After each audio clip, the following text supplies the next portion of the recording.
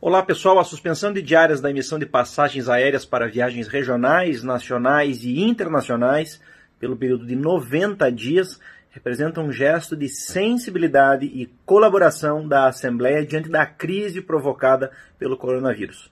A devolução de 30 milhões de reais do duodécimo do parlamento possui um efeito prático e oferece uma resposta rápida na luta do governo Eduardo Leite para conter a pandemia no estado do Rio Grande do Sul. Outras ações foram tomadas a partir de sugestões de parlamentares ao Poder Executivo Estadual. Entre elas estão as medidas anunciadas nos últimos dias que envolvem os serviços de fornecimento de energia elétrica e abastecimento de água.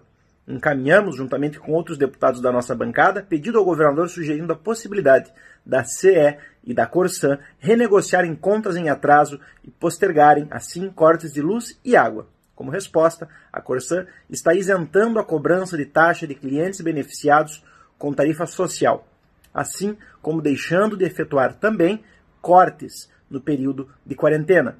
A Sugás está prorrogando o prazo de pagamento das faturas de gás natural dos segmentos residencial e comercial.